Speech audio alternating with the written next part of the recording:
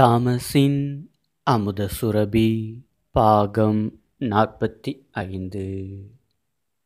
இனியவர்களே இந்த உலகில் பல சமயங்கள் இருக்கின்றன.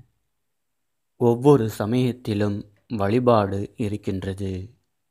ஆனால் எந்த வழிபாடு உண்மையான வழிபாடு?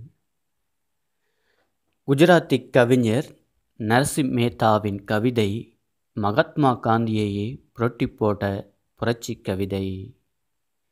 இறைவா நான் அன்றாடம் தவறாமல் சமய நெறிகளை பின்பற்றினாலும் ஒவ்வொரு நாளும் ஒருவேளை மட்டுமே உணவு உண்டாலும் கோபம் காழ்ப்புணர்வு பழிதிர்க்கும் வெறி என் நெஞ்சிலிருந்து நீங்காமல் போனால் இந்த சமய வாழ்க்கை எந்த பயனுமற்று போகும்? நாள்தோறும் நான் ஆலயம் சென்று ஆண்டவனை தொழுதாலும் மலரும் ஊதுபத்தியும் கொண்டு வழிபட்டாலும் சுயநலம் பேராசை பற்று ஆணவம் அனைத்தும் நீங்காமல் போனால் இந்த வழிபாடு அனைத்தும் என்னை நானே ஏமாற்றிக் கொள்ளும் தந்திரமாகும்.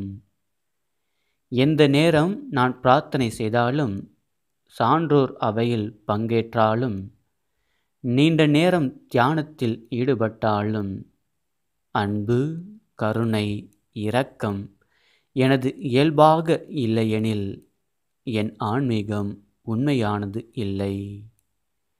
நான் தனித்திருந்து மௌனத்தில் ஆழ்ந்தாலும் எளிமையும் தவமும் ஏற்று அகிம்சை வழியில் துறவை அறிவித்தாலும் என் தவறான ஆசைகளும் எண்ணங்களும் அழிக்கப்படாவிடில் என் உடல் உணர்விலிருந்து விடுபடாவிடில் எல்லா உயிர்களிலும் இறைவன் இருப்பதை நான் அறிந்து கொள்ளாவிடில் என் வாழ்க்கை முழுவதும் வீணாகும். ஆழ்ந்து சிந்திப்போம் வழிபாட்டுக்கு அர்த்தம் கொடுப்போம். நம் வாழ்க்கை மூலமாக.